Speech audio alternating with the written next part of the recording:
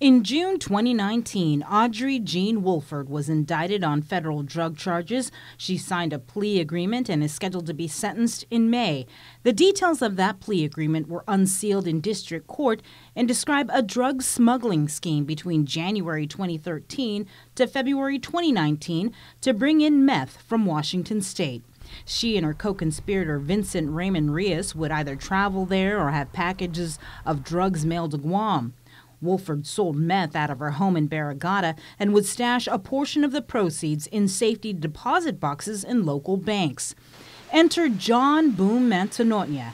According to court documents, Wolford and Rios paid protection fees to the retired police officer. He would advise them on how to avoid detection and arrest by law enforcement officers.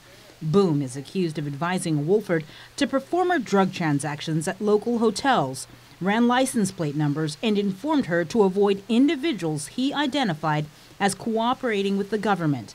The two also had a text messaging code system when she wanted him to run a name or a license plate.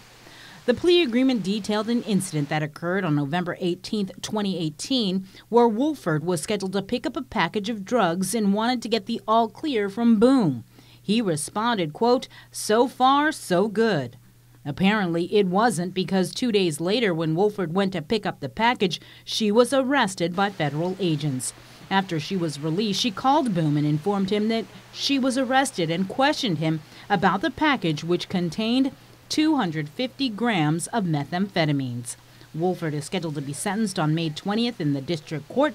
As for Mantanona, in June 2019, he was indicted on obstruction of justice charges as well as conspiracy to distribute meth. He was scheduled to appear in court this past Wednesday for a status hearing, but that was rescheduled to May 18th.